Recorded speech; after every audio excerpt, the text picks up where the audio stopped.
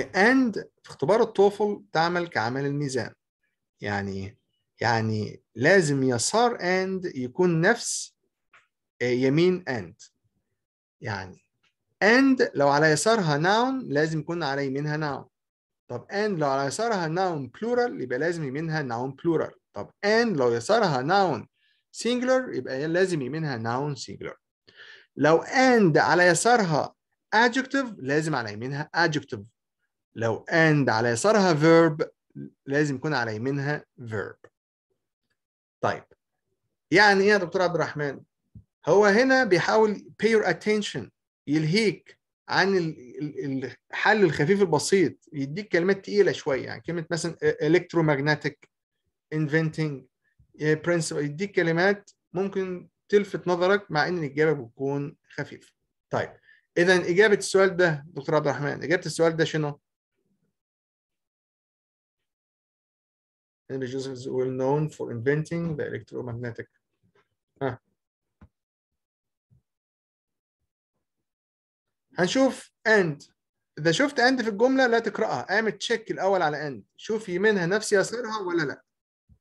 شوف يمينها نفس يسارها ولا لا. ها. الإجابة هتكون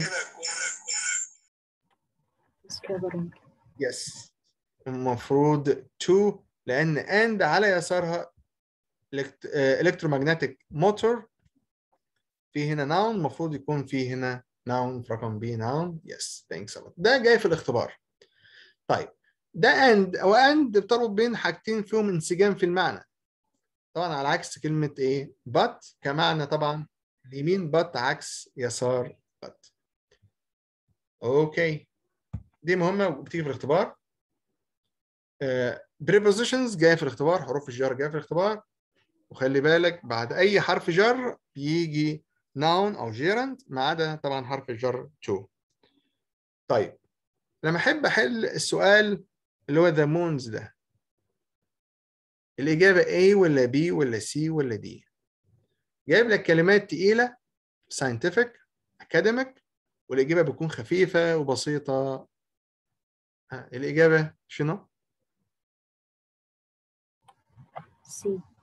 يس uh, from. اتفقنا بعد from أو أي جر ومجرور بعديه noun or gerund. هنا المفروض كان يقول the, the, the escape the